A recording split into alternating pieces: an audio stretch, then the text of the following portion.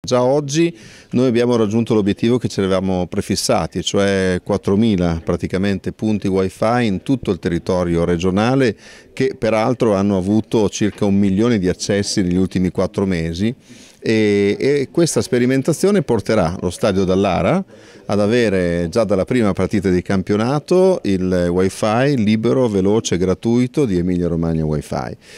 il comune di Vidiciatico, di, di, di Zano in Belvedere, nella piscina di Vidiciatico, lo stesso servizio e anche già in funzione in questi giorni della Notte Rosa nel comune di Cesenatico. È un'iniziativa della regione Emilia Romagna che abbiamo eh, colto con grande interesse